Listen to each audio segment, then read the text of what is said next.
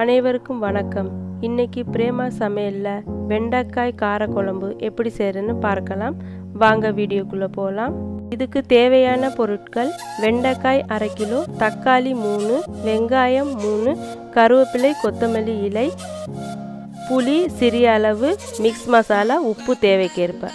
சீரகம் சோம்பு கடுகு உளுந்தம்பருப்பு வெந்தயம் எல்லாமே ஆஃப் டீஸ்பூன் போடுங்க. எல்லாத்தையும் கழுவி கட் பண்ணி வச்சுக்கோங்க. ஒரு பேனில் ஒரு டீஸ்பூன் நல்லெண்ணெய் விட்டு வெண்டைக்காயை வதக்கிக்கோங்க.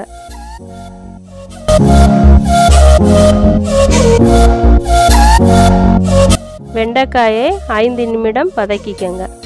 வதக்கின வெண்டைக்காயை வேறு ஒரு பாத்திரத்தில் மாற்றிக்கோங்க அதே பேனில் நாலு டேபிள் ஸ்பூன் நல்லெண்ணெய் ஊற்றி எண்ணெய் காய்ந்ததும் கடுகு உளுந்தம்பருப்பு சீரகம் சோம்பு வெந்தயம் சேர்த்து தாளிச்சுக்கோங்க.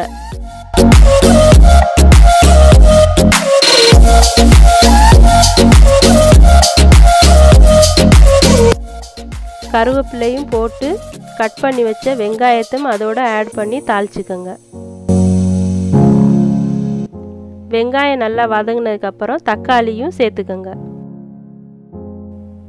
வெங்காயம் தக்காளியும் நல்லா வதங்கிருச்சு. வதங்கினதுக்கப்புறம் உப்பு ஒரு டேபிள் ஸ்பூன் மஞ்சள் தூள் ஆஃப் டீஸ்பூன்.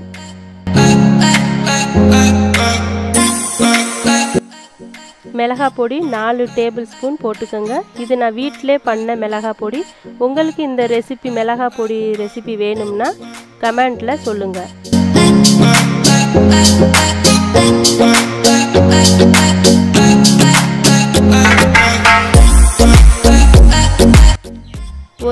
எலுமிச்சப்பழ அளவு புளி நான் எடுத்திருக்கேன். அதை நல்லா கரைச்சி வச்சுக்கோங்க. கரைச்சி வச்ச புளி தண்ணியையும் சேர்த்துக்கோங்க அதோட. ஐந்து நிமிடம் கொதிக்க விடுங்க.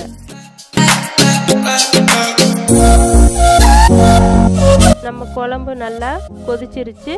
வதக்கி வச்ச வெண்டைக்காயையும் அதில் சேர்த்துக்கிடுவோம்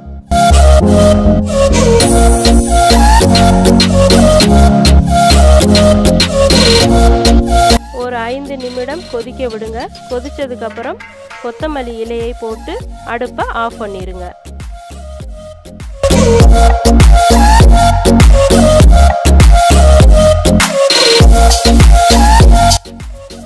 நம்மளோட வெண்டைக்காய் காரக்குழம்பு தயார்.